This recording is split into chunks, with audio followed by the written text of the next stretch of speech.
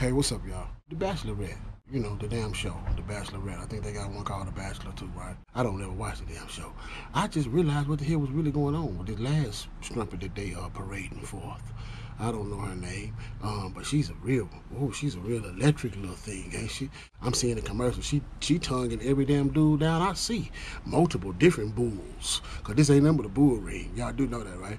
This ain't but 25 horny, hot damn bulls surrounding around one damn strumpet. Who's gonna mate?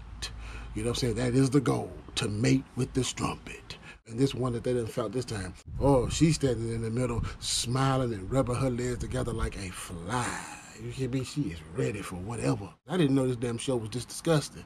I thought they would have a little contest, do a few dates, and then at the end, she choose somebody and maybe she have a little future with it. I didn't know she was slutting out with every damn man that's on there. She's showing deep nastiness to whichever one is called up next. I've seen her just fully tongue down. I know at least four, five of them in one damn commercial. They all touching her, girls, in a real way. You hear me? And I ain't talking about touched by an angel. Oh, hell no. About a bull, a Brahma bull. You hear me? They are ready. Every last one of them dudes. I looked at them, they all sitting there smiling, horny.